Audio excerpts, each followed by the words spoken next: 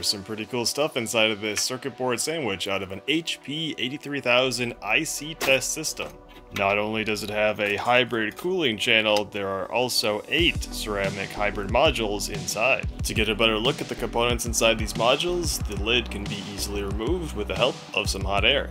There are a total of 8 integrated circuits on this module, along with a handful of ceramic capacitors, laser trim resistors, and some silicon diodes.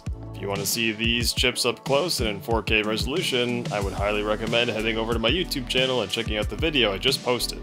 Here's a small preview of the contents of that video. Many of the integrated circuits that are on this hybrid ceramic module appear to be custom chips made just for this application. The assembly that this module is from is one of 32 I.O. boards inside of the HP 83000 system. That means a fully loaded system could have had up to 512 I.O.s for testing integrated circuits.